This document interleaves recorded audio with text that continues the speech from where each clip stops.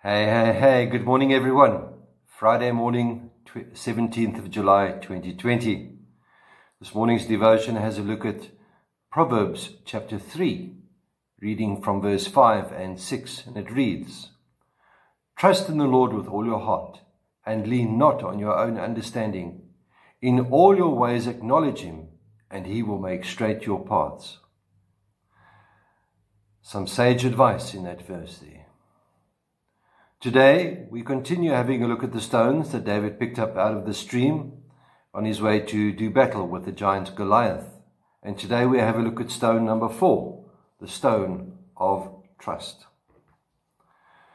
Trust is a difficult subject and idea to get one's head wrapped around, especially if you are already dealing with trust issues. David did not trust himself to fight the giant on his own. Just have a look at what he says in 1 Samuel chapter 17, verse 45. He says to Goliath, You come against me with sword and spear and javelin, but I come against you in the name of the Lord Almighty, the God of the armies of Israel, whom you have defied.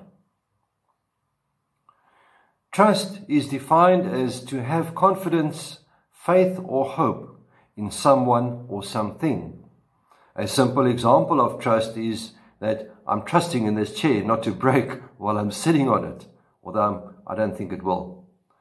Trust is the foundation of any relationship. Without it, the rela- relationship is shaky and will eventually fail. Trust means that you can rely on someone, you can confide in them, and feel safe with them. No relationship can work without trust. It is the cornerstone that holds it all together. So here's a question Why do we struggle with trusting God? Why do we struggle with trusting God? Well, one reason may be that we are looking and focusing on our current situation and not on God's promises. Imagine if David just focused on the situation at hand. Another reason we could struggle to trust God is that we still remember going through the difficult times, living in the past, instead of learning lessons and moving on. We love to live in the past. It's something that we can all sit on the stoop or the veranda in our rocking chair and reminisce about the days gone by, the hard times. Another scripture verse comes to mind and that is Psalm 146, verse 3, which reads Do not put your trust in princes, in mortal men who cannot save you. So, we are busy building up our arsenal of stones here. Firstly, we had the stone number one, the stone of courage. Then we had the stone of confidence.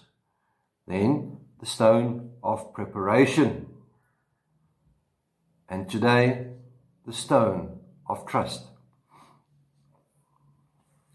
David knew in his heart, without a doubt, that God was with him and would help him in facing the giant Goliath. What about you? Can you say the same? Who or what do you place your trust in? And another question where is your first stop when trouble or danger arises.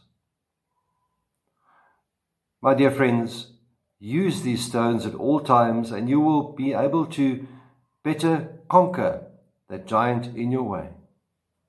Use them. They are there for a reason. They are weapons to be used. So, tomorrow we have a look at our final stone, the fifth stone. What will it be? Da da, da da. Have a look and see. So, my dear friends, with that, may the Lord be with you. May He bless you. May He cause His face to shine upon you and be with you always. Goodbye.